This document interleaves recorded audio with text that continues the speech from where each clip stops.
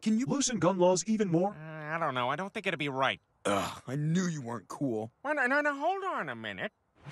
See, this is pretty cool, huh? Yeah, I guess, but what we could really use is some. A pardon for Daniel Perry. Might be over the line. See, I told you this guy wasn't cool. Well, no, no, hold on a minute.